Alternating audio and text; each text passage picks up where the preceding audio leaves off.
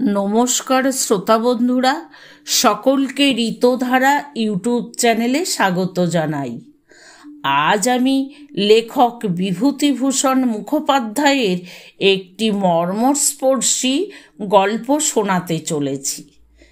গল্পের নাম রানুর প্রথম ভাগ। আসুন গল্পটা এখন শুনি।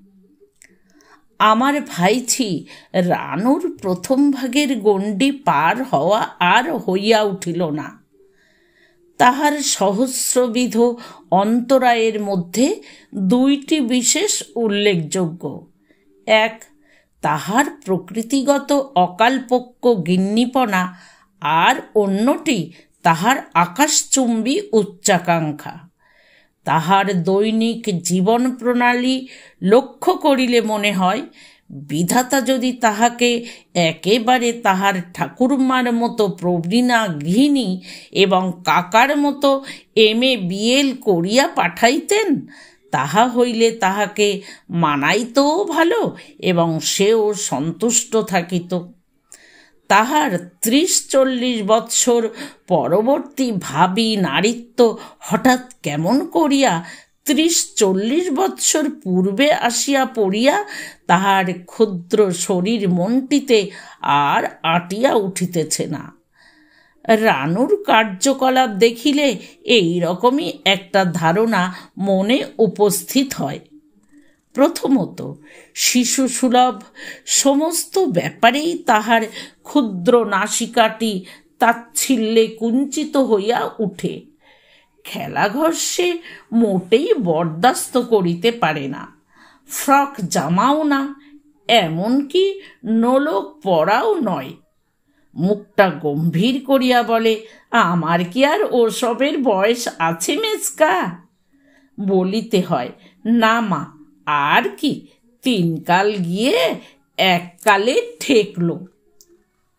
রানু চতুর্থকালের কাল্পনিক দুশ্চিন্তা দুর্ভাবনায় মুখটা অন্ধকার করিয়া বসিয়া থাকে।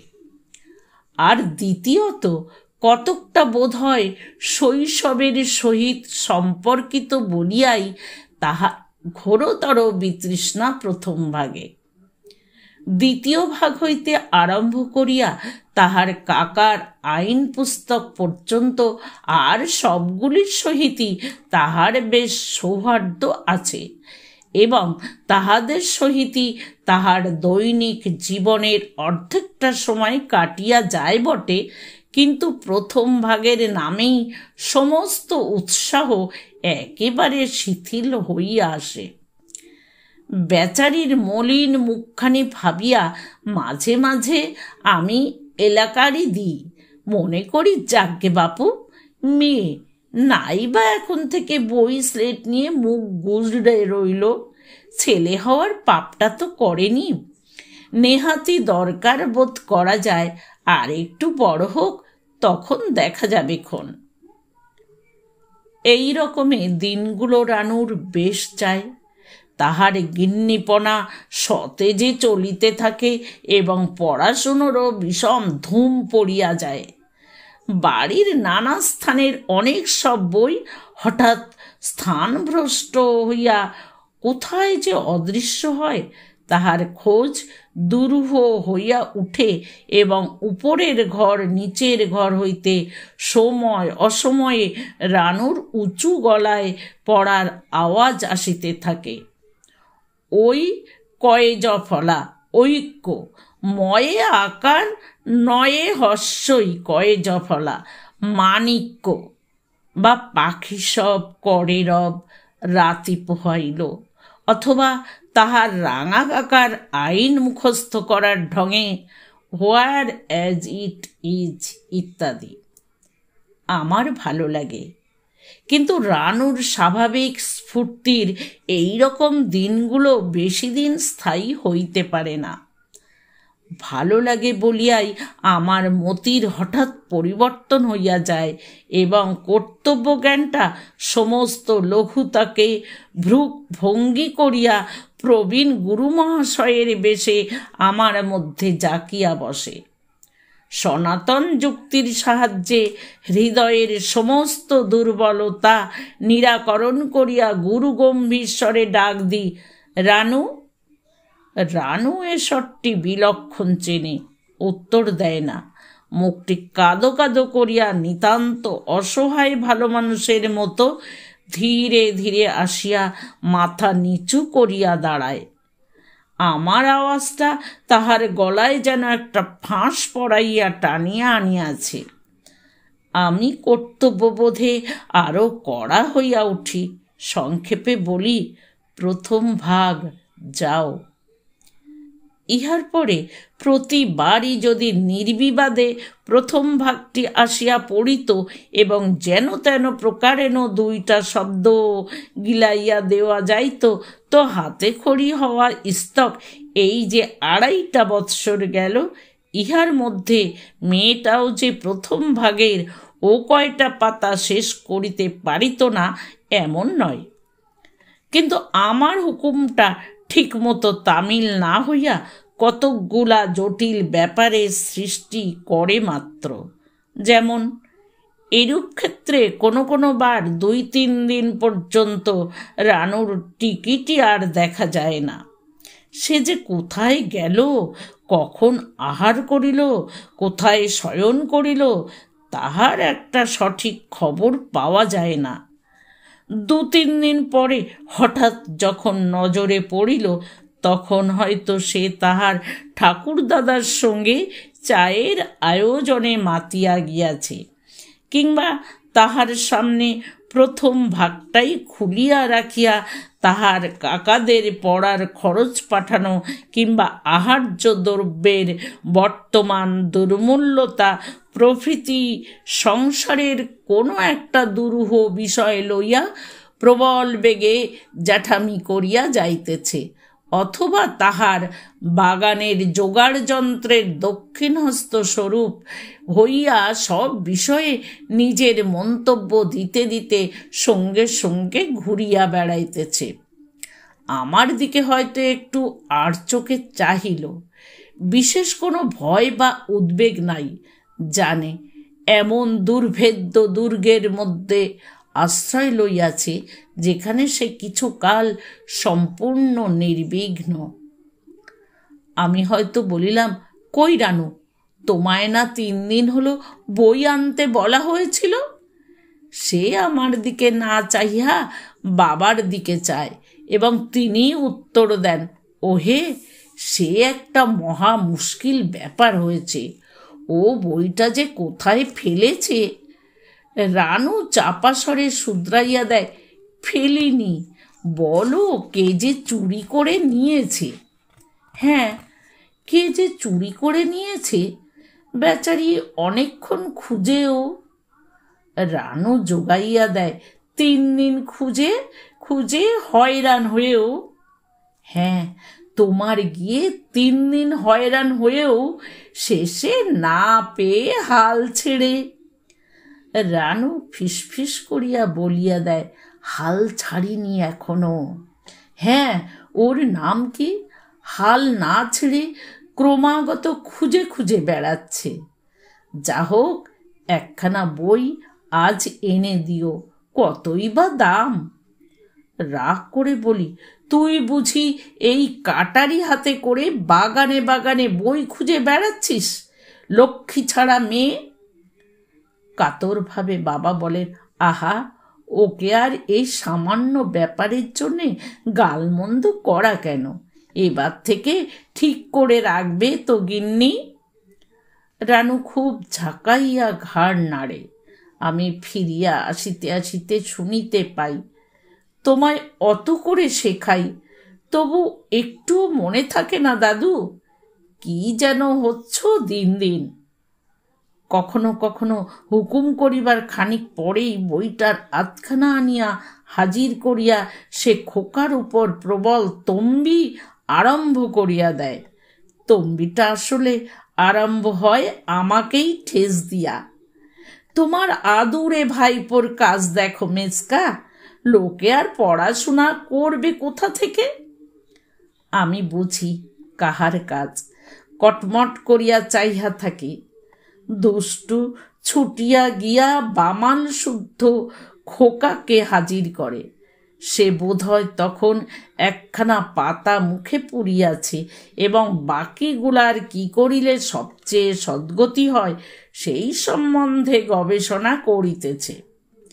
তাহাকে আমার সামনে ধপ করিয়া বসাইয়া রানু রাগ দেখাইয়া বলে, পেত্তয় না যাও, দেখো। আচ্ছা এ ছেলের কখনো বিদ্যা হবে মেজকা? আমি তখন হয়তো বলি, ওর কাজ না তুমি নিজে ছিঁড়ে ছোড়ানু ঠিক আগেকার পাঁচখানা পাতা ছেঁড়া, যত বলি তোমায় কিচ্ছু বলব না। খাম তিরিশেক বই তো শেষ হলো। ধরা পড়িয়া লজ্জা, ভয়, অপমানে নিশ্চল নির্বাক হইয়া এমনভাবে দাঁড়াইয়া থাকে যে নেহাত নৃশংস না হইলে উহার উপর আর কিছু তাহাকে বলা যায় না। তখনকার মতো শাস্তির কথা ভুলিয়া তাহার মনের গ্লানিটুকু মুছাইয়া দিবার জন্য আমায় বলিতেই হয় হ্যাঁ রে দুষ্টু, দিদির বই ছিঁড়ে দিয়েছিস? আরে, তুমিও তো ওকে একটু আধটু শাসন করবে, রানু। ওর আর কতটুকু বুদ্ধি বলো? চাঁদ মুখখানি হইতে মেঘটা সরিয়া গিয়া হাসি ফোটে। তখন আমাদের দুইজনের মধ্য হইতে প্রথম ভাগের ব্যবধানটা একেবারে বিলুপ্ত হইয়া যায় এবং রানু দিব্য সহজভাবে তাহার গিন্নিপনার ভূমিকা আরম্ভ করিয়া দেয়। এই সময়টা সে হঠাৎ এত বড় হইয়া যায় যে ছোট ভাইটি হইতে আরম্ভ করিয়া বাপ, খুড়া, ঠাকুরমা, এমনকি ঠাকুর দাদা পর্যন্ত সবাই তাহার কাছে নিতান্ত ক্ষুদ্র এবং স্নেহ ও করুণার পাত্র হইয়া পড়ে। এই রকম একটি প্রথম ভাগ ছেড়ার দিনে কথাটা এইভাবে আরম্ভ হইল। কিরে শাসন করব বলো, মেজকা? আমার কি নিঃশেষ ফেলবার সময় আছে? খালি কাজ কাজ আর কাজ। হাসি পাইলেও গম্ভীর হইয়া বললাম, তা বটে, কত দিকে আর দেখবে?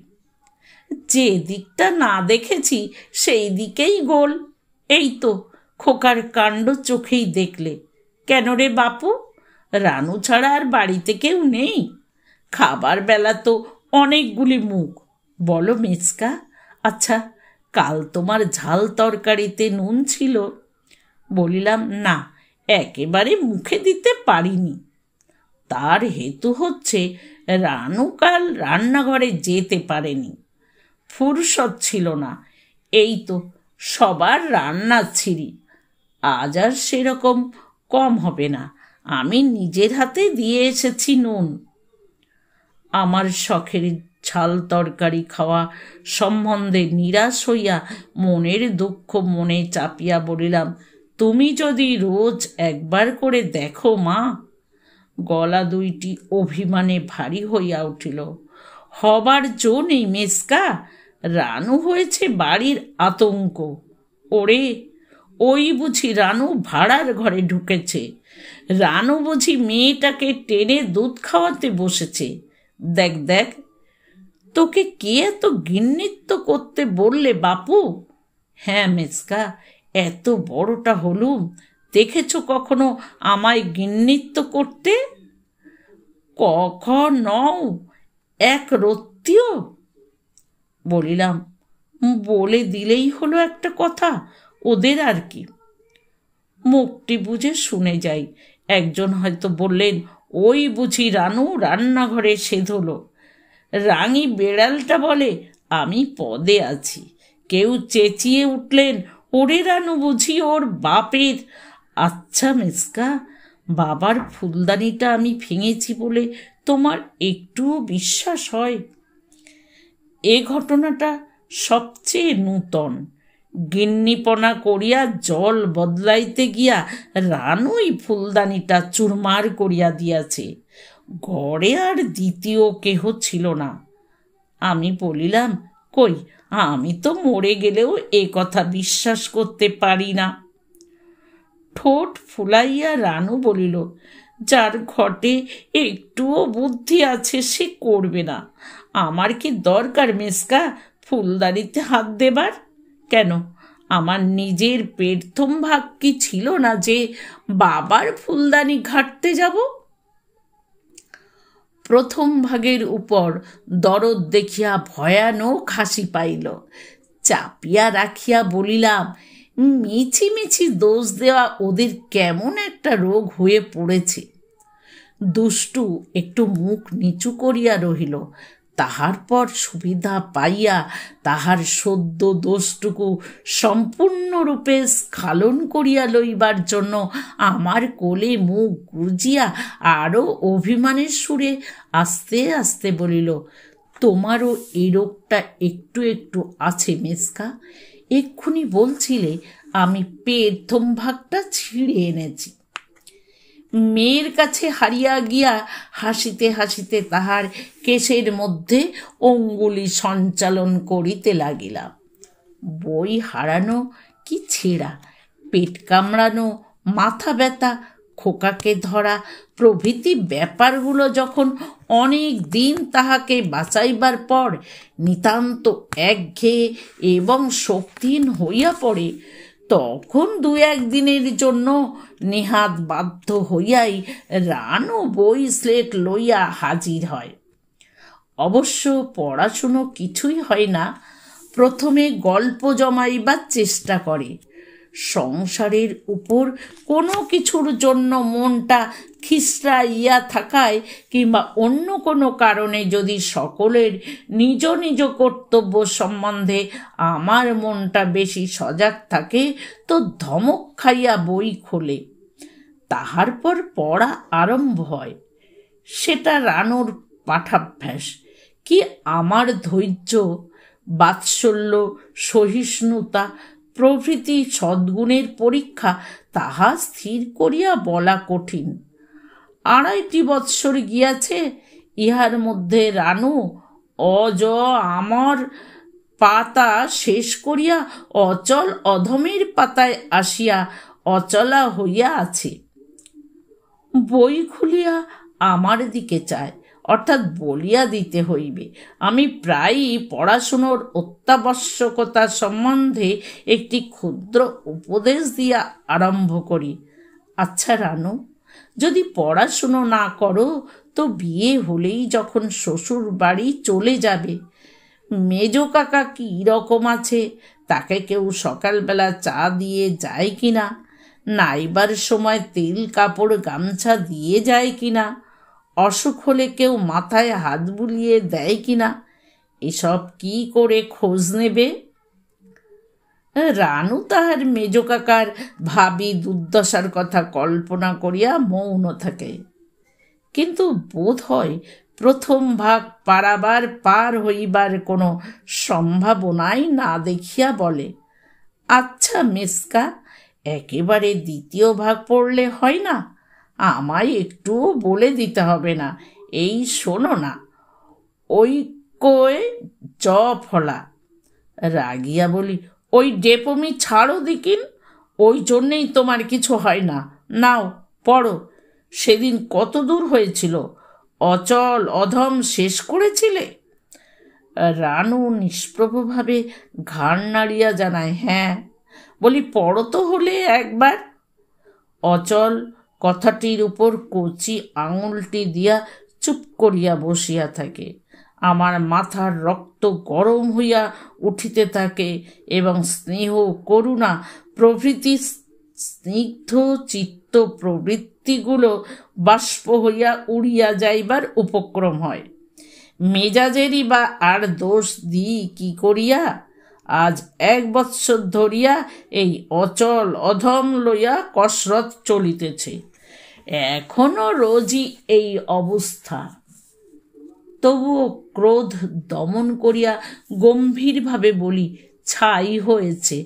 আচ্ছা বলো, চ আর ল। অচল। রানু অর উপর হইতে আঙুলটা না সরাইয়া তিনটি অক্ষর পড়িয়া যায়। অধম ও ওইভাবেই শেষ হয়।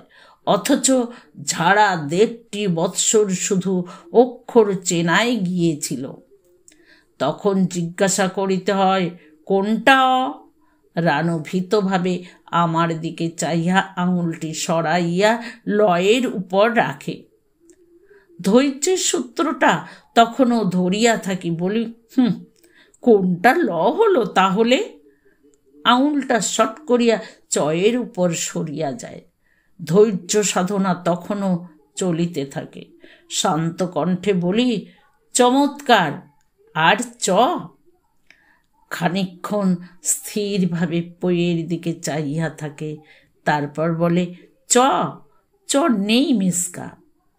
সংযত রাগটা অত্যন্ত উগ্রভাবেই বাহির হইয়া পড়ে। পিঠে চাপড় কষাইয়া বলি তা থাকবে কেন? তোমার ডেপমি দেখে চম্পট দিয়েছে। হতভাগা মেয়ে, রাজ্যের কথার জাহাজ হয়েছেন আর এদিকে আড়াই বৎসরে প্রথম ভাগের আড়াইটে কথা শেষ করতে পারলে না। কত বুড়ো বুড়ো গাধা ঠেঙিয়ে পাশ করিয়ে দিলাম, আর এই একরত্তি মেয়ের কাছে আমায় হার মানতে হলো? কাজ নেই আর তোর অক্ষর চিনে। সন্ধে পর্যন্ত বসে বসে খালি অ, চ আর ল। অচল। অ, ধ আর ম। অধম। এই আওড়াবি। তোর সমস্ত দিন আজ খাওয়া বন্ধ। বিরক্তভাবে একটা খবরের কাগজ কিংবা বই লইয়া বসিয়া যাই। রানু ক্রন্দনের সহিত সুর মিশাইয়া পড়া বলিয়া যায়। বলি বটে সন্ধ্যা পর্যন্ত পড়িতে হইবে। কিন্তু চটটা বসাইয়াই নিশ্চিন্ত হইয়া যায় যে সেদিনকার পড়া ওই পর্যন্ত। রানু এতক্ষণ চক্ষের জলের ভরসাতেই থাকে এবং অশ্রু নামিলেই সেটাকে খুব বিচক্ষণতার সঙ্গে কাজে লাগায়। কিছুক্ষণ পরে আর পড়ার আওয়াজ পাই না বলি, কি হলো? রানু ক্রন্দনের স্বরে উত্তর করে, নেই। কি নেই? বলিয়া ফিরিয়া দেখি চক্ষের জল অচল অধমের উপর ফেলিয়া আঙুল দিয়া ঘষিয়া ঘষিয়া কথা দুইটা বিলকুল উড়াইয়া দিয়াছে। একেবারে নিচের দুই তিনখানা পাতার খানিকটা পর্যন্ত। কিংবা আঙুলের ডগায় চোখের ভিজা কাজল লইয়া কথা দুইটিকে চিরান্ধকারে ডুবাইয়া দিয়াছে। এইরূপ অবস্থাতে বলে, আর দেখতে পাচ্ছি না মেসকা। এই রকম আরও সব কাণ্ড। চটটা মারা পর্যন্ত মনটা খারাপ হইয়া থাকে। তাহা ভিন্ন ওর ধূর্তামি দেখিয়া হাসিও পায়। মেয়েদের পড়াশোনা সম্বন্ধে আমার থিওরিটা ফিরিয়া আসে। বলি, না, তোর আর পড়াশোনা হলো না রানু। স্লেটটা নিয়ে আয় দিকিন। দেগে দি বুলো। পিঠটায় লেগেছে বেশি। দেখি। রানু বুঝিতে পারে তাহার জয় আরম্ভ হইয়াছে। এখন তাহার সব কথাই চলিবে। আমার কাতটা জড়াইয়া আস্তে আস্তে ডাকে। মেজকা, উত্তর দিই কি, আমি মেজকা বড় হইনি? তা তো খুব হয়েছ। কিন্তু কই, বড়র মতন? বাধা দিয়া বলে, তাহলে স্লেট ছেড়ে ছোট কাকার মতো কাগজ, পেন্সিল নিয়ে আসব? চারটে পেন্সিল আছে আমার, স্লেটে খোকা বড় হয়ে লিখবে খন। হঠাৎ শিহরিয়া উঠিয়া বলে, ও মেসকা, তোমার দুটো পাকা চুল গো, সর্বনাশ, বেছে দি। বলি, দাও। আচ্ছা রানু, এই তো বুড়ো হতে চললাম। তুইও দুদিন পরে শ্বশুর বাড়ি চলবি। লেখাপড়া শিখলি নিয়ে মরলাম কি বাঁচলাম কি করে খোঁজ নিবি? আমায় কেউ দেখে শোনে কিনা, রেধে টেধে দেয় কি না রানু বলে, পড়তে তো জানি মেসকা, খালি পেট ভাগটাই জানি না। বড় হয়েছি কিনা বাড়ির আর কোনো লোকটা পেট ভাগ পড়ে মেসকা? দেখাও তো। দাদা ওদিকে ধর্ম সম্বন্ধে খুব লিবারেল মতের লোক ছিলেন। অর্থাৎ হিন্দু ধর্ম সম্বন্ধে অজ্ঞতাটা যেমন গভীর করিয়া রাখিয়াছিলেন, খ্রিস্ট এবং কবেকার জরাজীর্ণ জুরুয়াস্থিয়ানবাদ সম্বন্ধে জ্ঞানটা সেইরূপ উচ্চ ছিল। দরকার হইলে বাইবেল হইতে সুদীর্ঘ কোটেশন তুলিয়া সকলকে চমৎকৃত করিয়া দিতে পারিতেন এবং দরকার না হইলেও যখন এক ধার হইতে সমস্ত ধর্মমত সম্বন্ধে সুতীব্র সমালোচনা করিয়া ধর্মমত মাত্রেরই অসারতা সম্বন্ধে অধার্মিক ভাষার ভুরি ভুরি প্রমাণ দিয়া যাইতেন। তখন ভক্তদের বলিতে হইত হ্যাঁ এখানে খাতির চলবে না বাবা, যার নাম শশাঙ্ক মুখুজ্জে। দাদা বলিতেন, না, গোড়ামিকে আমি প্রশ্রয় দিতে মোটেই রাজি নই। প্রায় সব ধর্মবাদকেই তিনি গোড়ামি নামে অভিহিত করিতেন এবং গালাগাল না দেওয়াকে কহিতেন, প্রশ্রয় দেওয়া। সেই দাদা এখন একেবারে অন্য মানুষ। ত্রিসন্ধ্যা না করিয়া জল খান না এবং জলের অতিরিক্ত যে বেশি কিছু খান বলিয়াই বোধ হয় না। পূজা পাঠ হোম লইয়াই আছেন এবং বাক ও কর্মের সুচিতা সম্বন্ধে এমন একটা গেল গেল ভাব যে আমাদের তো প্রাণ যায় যায় হইয়া উঠিয়াছে। ভক্তেরা বলে, ওরকম হবে, এ তো জানা কথাই। এই হচ্ছে স্বাভাবিক বিবর্তন। এ একেবারে খাঁটি জিনিস দাঁড়িয়েছে। সকলের চেয়ে চিন্তার বিষয় হইয়াছে যে এই অসহায় লাঞ্ছিত হিন্দু ধর্মের জন্য একটা বড় রকম ত্যাগ স্বীকার করিবার নিমিত্ত দাদা নিরতিশয় ব্যাকুল হইয়া উঠিলেন এবং হাতের কাছে আর তেমন কিছু আপাতত না পাওয়ায় ঝোঁকটা গিয়া পড়িয়াছে ছোট কন্যাটির উপর। একদিন বলিলেন, ওহে শৈলেন, একটা কথা ভাবছি। ভাবছি বলি কেন, একরকম স্থিরই করে ফেলেছি। মুখে গম্ভীর তেজস্বিতার ভাব দেখিয়া সব সভয়ে প্রশ্ন করিলাম, কি দাদা? গৌরীদান করব, স্থির করেছি। তোমার রানুর কত বয়স হলো? বয়স না বলিয়া বিস্মিতভাবে বলিলাম, সে কি দাদা? এ যুগে দাদা সংযত অথচ দৃঢ় কণ্ঠে বলিলেন, যুগের এ আর সে নেই শৈলেন, ওখানেই তোমরা ভুল করো। কাল এক অনন্তব্যাপী অখণ্ড সত্তা এবং যে শুদ্ধ সনাতন ধর্ম সেই কালকেই। একটু অস্থির হইয়া বলিলাম, কিন্তু দাদা ও যে এখনও দুগ্ধপোষ্য শিশু? দাদা বলিলেন, এবং শিশুই থাকবে ও। যতদিন তোমরা বিবাহ বন্ধনের দ্বারা ওর আত্মার সংস্কার ও পূর্ণ বিকাশের অবসর করে না দিচ্ছ, এটা তোমায় বোঝাতে হলে আগে আমাদের শাস্ত্রকাররা। অসহিষ্ণুভাবে বলিলাম, সে তো বুঝলাম, কিন্তু ওর তো এই সবে আট বছর পেরুলো দাদা। ওর শরীরই বা কতটুকু আর তার মধ্যে ওর আত্মাই বা কোথায়, তা তো বুঝতে পারি না। আমার কথা হচ্ছে, দাদা সেদিকে মন না দিয়া নিরাশভাবে বলিলেন, আট বৎসর পেরিয়ে গেছে, তাহলে আর কই হলো শৈলেন? মনু বলেছেন, অষ্টবর্ষা ভবেদ গৌরী, নববর্ষে তুরহিনী জানি অত বড় পুণ্যকর্ম কি আমার হাত দিয়ে সমাধান হবে? ছোটটার বয়স কত হলো? রানুর ছোট রেখা পাঁচ বৎসরের। দাদা বয়স শুনিয়া মুখটা কুঞ্চিত করিয়া একটু মৌন রহিলেন। পাঁচ বৎসরের কন্যাদানের জন্য কোনো একটা পুণ্য ফলের ব্যবস্থা না করিয়া যাওয়ার জন্য মনুর উপরই চটিলেন। কিংবা অত পিছাইয়া জন্ম লওয়ার জন্য রেখার উপরই বিরক্ত হইলেন। বুঝিতে পারিলাম না। কিছুক্ষণ নীরব থাকিয়া একটি দীর্ঘশ্বাস ফেলিয়া সে স্থান ত্যাগ করিলেন। আমিও আমার রুদ্ধশ্বাসটা মোচন করিলাম।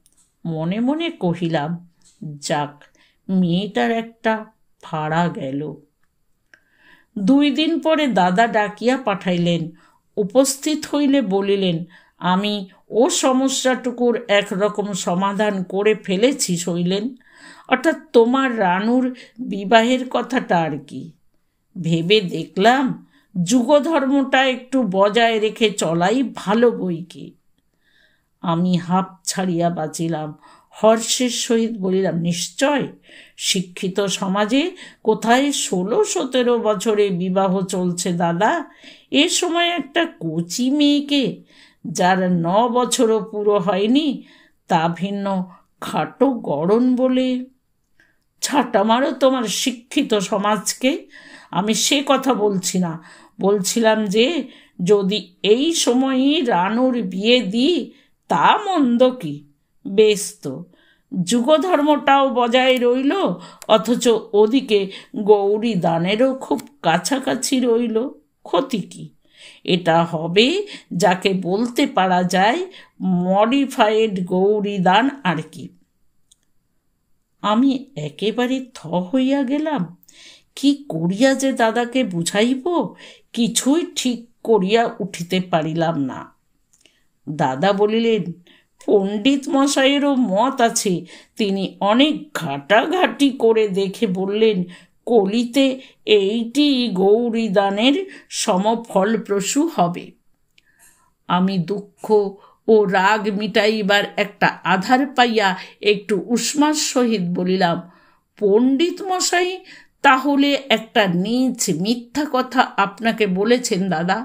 আপনি সন্তুষ্ট হলে উনি একথাও কথাও বোধহয় শাস্ত্র ঘেটেই বলে দেবেন যে, মেয়েকে হাত পা বেঁধে জলে ফেলে দিলেও আজকাল গৌরীদানের ফল হবার কথা। কলিযুগটা তো ওদের কল্পবৃক্ষ হয়ে দাঁড়িয়েছে। যখন যে বিধানটা চাইবেন, পাকা ফলের মতো টুপ করে হাতে এসে পড়বে। দুইজনেই কিছুক্ষণ চুপ করিয়া রহিলাম। আমি কথা কহিলাম যাক, ওরা বিধান দেন, দিন বিয়ে, আমি এখন আসি, একটু কাজ আছে। আসিবার সময় ঘুরিয়া বলিলাম হ্যাঁ শরীরটা খারাপ বলে ভাবছি, মাস চারেক একটু পশ্চিমে গিয়ে কাটাবো। হপ্তাখানেকের মধ্যে বোধ হয় বেরিয়ে পড়তে পারব। বলিয়া চলিয়া আসিলাম। অভিমানের সাহায্যে ব্যাপারটা মাস তিন চার কোনো রকমে ঠেকাইয়া রাখিলাম। কিন্তু দাহার পর দাদা নিজেই এমন অভিমান শুরু করিয়া দিলেন যে আমারই হার মানিতে হইল। ধর্মের পথে অন্তরায় হইবার বয়স এবং শক্তি বাবার তো ছিলই না। তবু নাতনির মায়ায় তিনি দোমনা হইয়া কিছুদিন আমারই পক্ষে রহিলেন। তারপর ক্রমে ক্রমে ওই দিকেই ঢুলিয়া পড়িলেন। আমি বেখাপ্পা রকম একলা পড়িয়া গিয়া একটা মস্ত বড় ধর্মদ্রোহীর মতো বিরাজ করিতে লাগিলাম। রানুকে ঢালোয়া ছুটি দিয়া দিয়াছি। মায়াবিনী অচিরেই আমাদের পর হইবে বলিয়া যেন ক্ষুদ্র বুকখানির সমস্তটুকু দিয়া আমাদের সংসারটি জড়াইয়া ধরিয়াছে। পারুক না পারুক সে সমস্ত কাজেই আছে এবং যেটা ঠিকমতো পারে না, সেটার জন্য এমন একটা সংকোচ এবং বেদনা আজকাল তাহার দেখিতে পাই, যাহাতে সত্যই মনে হয় নকলের মধ্যে দিয়া মেয়েটার এবার আসল গৃহিণীপনার ছোঁয়াচ লাগিয়াছে। অসহায় মেজ কাকাটি তো চিরদিনই তাহার একটা বিশেষ পোষ্য ছিলই। আজকাল আবার প্রথম ভাগ বিবর্জিত। সুপ্রচুর অবসরের দরুন একেবারে তাহার কোলের শিশুটি হইয়া পড়িয়াছে বলিলে চলে। সময় সময় গল্পও হয়, আজকাল বিয়ের গল্পটা হয় বেশি। অন্যের সঙ্গে এ বিষয় লইয়া আলোচনা করিতে রানও ইদানিং লজ্জা পায় বটে, কিন্তু আমার কাছে কোনো দ্বিধা কুণ্ঠাই আসিবার অবসর পায় না। তাহার কারণ আমাদের দুইজনের মধ্যে সমস্ত লঘুত্ব বাদ দিয়া গুরু গম্ভীর সমস্যাবলীর আলোচনা চলিতে থাকে।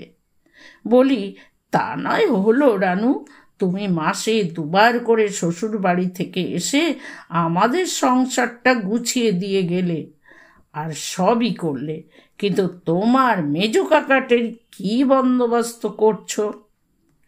রানু বিমর্ষ হইয়া ভাবে, বলে, আমরা সব বলে বলে তো হয়রান হয়ে গেলাম মেসকা। যে, বিয়ে করো বিয়ে করো। তা শুনলে গরিবদের কথা। রানু কি তোমার চিরদিনটা দেখতে শুনতে পারবে মেজকা আর এরপর তার নিজের ছেলেপুলেও মানুষ করতে হবে তো। মেয়ে আর কতদিন নিজের বলো? তোতা পাখির মতো। কচি মুখে বুড়োদের কাছে শেখা বুলি শুনিয়া হাসিব কি কাঁদিব ঠিক করিতে পারি না। বলি আচ্ছা একটা গিন্নি বান্নি কোণে দেখে এখনও বিয়ে করলে চলে না, কি বলো তুমি? এই বাধা কথাটি তাহার ভাবি শ্বশুর বাড়ি লইয়া একটি ঠাট্টার উপক্রমণিকা। রানু কৃত্রিম অভিমানের সহিত হাসি মিশাইয়া বলে, যাও মিসকা, আর গল্প করব না, তুমি ঠাট্টা করছ। আমি চোখ পাকাইয়া বিপুল গাম্ভীর্যের সহিত বলি, মোটেই ঠাট্টা নয় রানু, তোমার শাশুড়িটি বড্ড গিন্নি শুনেছি, তাই বলছিলাম যদি বিয়েই করতে হয়। রানু আমার মুখের দিকে রাগ করিয়া চায় এবং শেষে হাসিয়া চায় কিছুতেই যখন আমার মুখের অটল গাম্ভীর্য বদলায় না, তখন প্রতারিত হইয়া গুরুত্বের সহিত বলে আচ্ছা আমি তাহলে না মেচকা নিশ্চয় ঠাট্টা করছ, যাও। আমি চোখ আরও বিস্ফারিত করিয়া বলি, একটু ঠাট্টা নেই এর মধ্যে, রানু। সব কথা নিয়ে কি আর ঠাট্টা চলে, মা? রানু তখন ভারিককে হইয়া বলে আচ্ছা তাহলে আমার শাশুড়িকে একবার বলে দেখব দেখবক্ষণ আগে যাই সেখানে। তিনি যদি তোমায় বিয়ে করতে রাজি হন তো তোমায় জানাবক্ষণ তার জন্যে ভাবতে হবে না তাহার পর কৌতুক দীপ্ত চোখে চাইহা বলে আচ্ছা মেজকা পেট ভাগ তো শিখিনি এখনও। কি করে তোমায় জানাব বলো দিকিন? তবে বুঝব হ্যাঁ। আমি নানান রকম আন্দাজ করি। বিজয়িনী ঝাঁকড়া মাথা দুলাইয়া হাসিয়া বলে, না, হলো না। কখনো বলতে পারবে না। সে বড্ড শক্ত কথা। এইসব হাসি তামাশা গল্পগুজব হঠাৎ মাঝখানেই শেষ হইয়া যায়। রানু চঞ্চলতার মাঝে হঠাৎ গম্ভীর হইয়া বলে, যাক, সে পরের কথা পরে হবে। যাই, তোমার চা হলো কিনা দেখি গে। কিংবা যাই, গল্প করলেই চলবে না। তোমার লেখার টেবিলটা আজ গুছোতে হবে। এক ডাই হয়ে রয়েছে। ইত্যাদি। এই রকমভাবে রানুকে নিবিড় হইতে নিবিড়তরভাবে আমার বুকের মধ্যে আনিয়া দিতে দিতে বিচ্ছেদের দিনটা আগাইয়া আসিতেছে। বুঝিবা রানুর বুকটিতেও এই আসন্ন বিচ্ছেদের বেদনা তাহার অগোচরে একটু একটু করিয়া ঘনাইয়া উঠিতেছে। কচি সে বুঝিতে পারে না।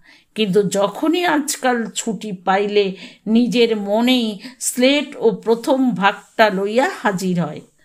তখনই বুঝিতে পারি, এ আগ্রহটা তাহার কাকাকে সান্ত্বনা দেওয়ারই একটা নূতন রূপ। কেননা, প্রথম ভাগ শেখার আর কোনো উদ্দেশ্য থাক আর না থাক, ইহার উপরই ভবিষ্যতে তাহার কাকার সমস্ত সুখ সুবিধা নির্ভর করিতেছে। রানুর মনে এ ধারণাটুকু বদ্ধমূল হইয়া গিয়াছে। এখন আর একেবারেই উপায় নাই বলিয়া তাহার শিশু মনটি ব্যথায় ভরিয়া উঠে। প্রবীণার মতো আমায় তবুও আশ্বাস দেয়, তুমি ভেবো না মেচকা তোমার পেট থমভাগ না শেষ করে আমি কখনো শ্বশুর বাড়ি যাব না। নাও, বলে দাও। পড়া অবশ্য এগোয় না।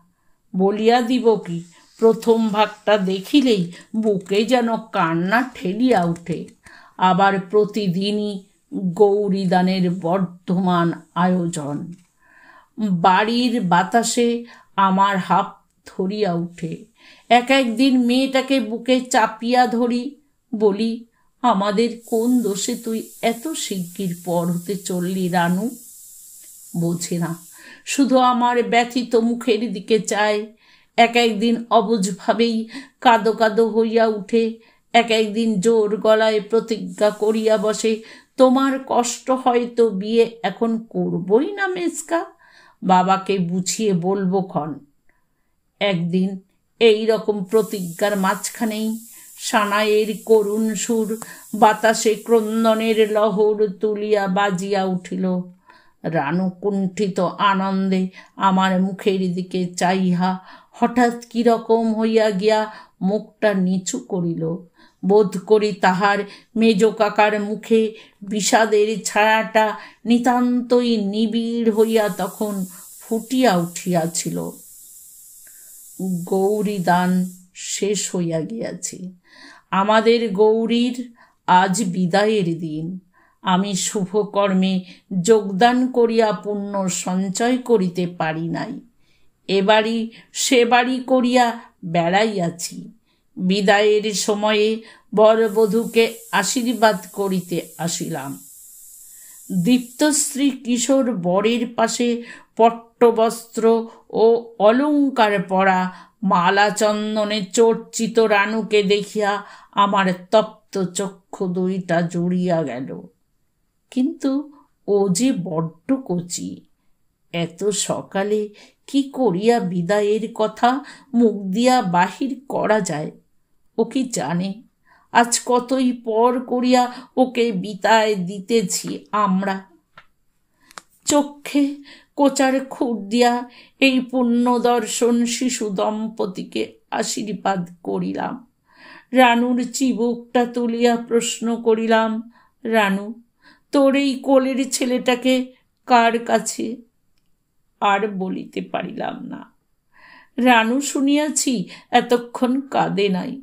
তাহার কারণ নিশ্চয় এই যে, সংসারের প্রবেশ পথে দাঁড়াইতেই ওর অসময়ের গৃহিণীপনাটা সরিয়া গিয়া ওর মধ্যকার শিশুটি বিস্ময়ে কৌতূহলে অভিভূত হইয়া পড়িয়াছিল। আমার কথার আভাসে সেই শিশুটি নিজের অসহায়তায় আকুল হইয়া পড়িল। আমার বাহুতে মুখ লুকাইয়া রানু উচ্ছ্বসিত আবেগে ফুলিয়া ফুলিয়া কাঁদিয়া উঠিল। কখনো কচি মেয়ের মতো ওকে ভুলাইতে হয় নাই। আমার খেলাঘরের মা হইয়া ওই এতদিন আমায় আদর করিয়াছে। আশ্বাস দিয়াছে। সেইটাই আমাদের সম্বন্ধের মধ্যে যেন সহজ এবং স্বাভাবিক হইয়া পড়িয়াছিল। ভালো মানাই তো। আজ প্রথম ওকে বুকে চাপিয়া সান্ত্বনা দিলাম। যেমন দুধের ছেলে মেয়েকে শান্ত করে। বুঝাইয়া, মিথ্যা কইয়া কত প্রলোভন দিয়া। তবুও কি থামিতে চায়? ওর সব হাসির অন্তরালে, এতদিন যে গোপনে শুধু অশ্রুই সঞ্চিত হইয়া উঠিতেছিল। অনেকক্ষণ ফোপাইয়া ফোপাইয়া সে থামিল, অভ্যাস মতো আমার করতল দিয়াই নিজের মুখটা মুছাইয়া লইল। তাহার পর হাতটাতে একটু টান দিয়া আস্তে আস্তে বলিল, এদিকে এসো, শোনো মেজকা। দুইজনে একটু সরিয়া গেলাম। সকলে এই সময় মাতা পুত্রের অভিনয়ের দিকে চাইয়া রহিল। রানু বুকের কাছ হইতে তাহার সুপ্রচুর বস্ত্রের মধ্য হইতে লাল ফিতায় যত্ন করিয়া বাঁধা দশ বারোখানি প্রথম ভাগের একটা বান্ডিল বাহির করিল।